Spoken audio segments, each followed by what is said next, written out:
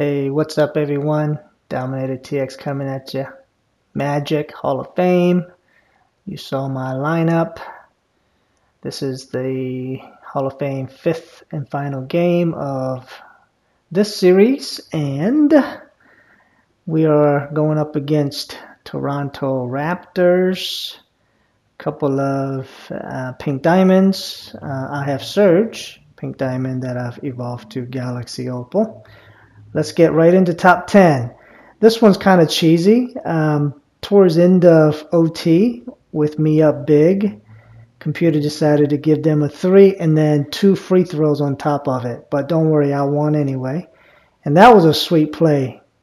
I mean, that was awesome. Number nine behind the back and throw down. And then number eight, none other than Big Boy. Mmm, what a block, right? Number seven, as always, good defense turns into good offense. And Jonathan Isaac with a nice throwdown, number seven. Number six, Big Shaq trying to set pick. Then a biting, but boom, right on Marc Gasol's head.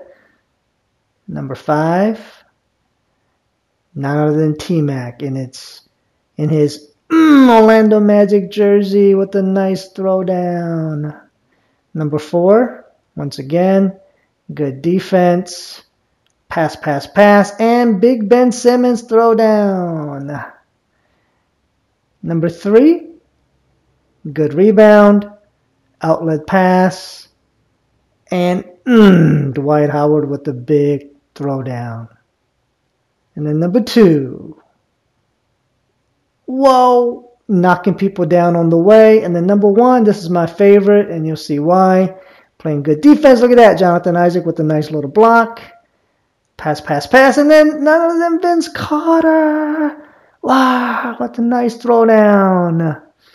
And then my reward, of course, six tokens and diamond. Terrence Ross. Thanks.